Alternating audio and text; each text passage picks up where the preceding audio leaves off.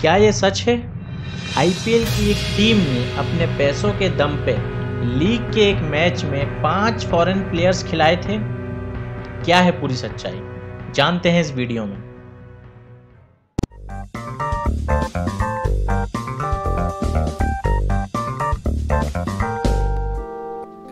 Hello, नमस्कार दोस्तों।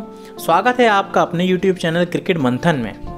जैसा कि आप जानते हैं आजकल फ्रेंचाइजी बेस्ड क्रिकेट लगभग हर देश में खेली जाती है, जिसमें मुख्यतः Indian premier league, big bash league, Caribbean premier league और पी जैसी लीग शामिल हैं। सभी प्रमुख लीगों की बात करें तो सभी में नियम लगभग एक जैसे हैं, जिसमें एक नियम यह भी है कि किसी भी टीम में चार से ज़्यादा विदेशी खिलाड़ी एक साथ नहीं खेल सकते। हैं लेकिन लेकिन ये बात बिल्कुल सच है कि आईपीएल की एक टीम ने एक मैच में पाँच विदेशी खिलाड़ियों को एक साथ खिलाया था।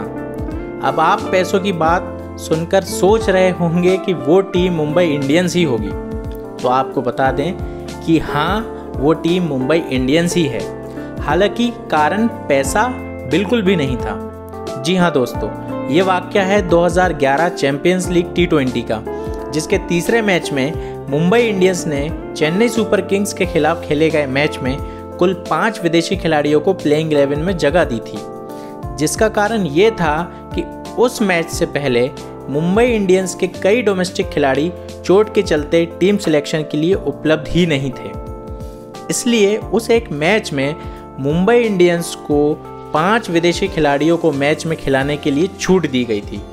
वो पाँच फॉरेन खिलाड़ी थे Davy Jacobs Andrew Symonds Aiden Blizzard Kieron Pollard और लसित मलिंगा क्या आप ये फैक्ट जानते थे?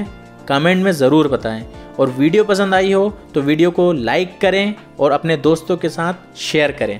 और आगे क्रिकेट से जुड़ी इसी तरह के इंटरेस्टिंग फैक्ट जानने के लिए हमारे चैनल को सब्सक्राइब ज़रूर से करें। धन्यवाद। जय हिंद।